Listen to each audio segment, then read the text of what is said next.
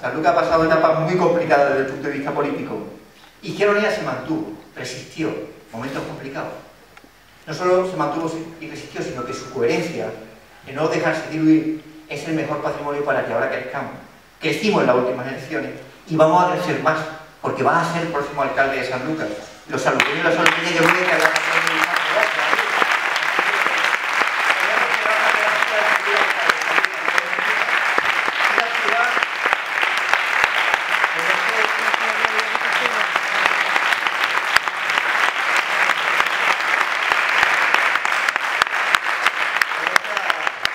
saluqueñas yo voy a partido independiente que tiene ese doble discurso de progre, de progre en el discurso y después nos privatizamos el agua. Vaya a ser que, que hagamos otro tipo de política. Rafa tiene un patrimonio que lo tiene la organización en San Lucas, que es el haber sido coherente con el modelo de ciudad.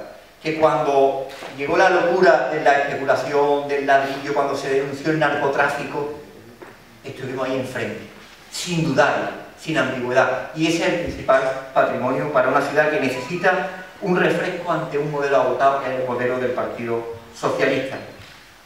Y hay más sitios donde se está creciendo y se está haciendo un trabajo que permite que tengamos un mensaje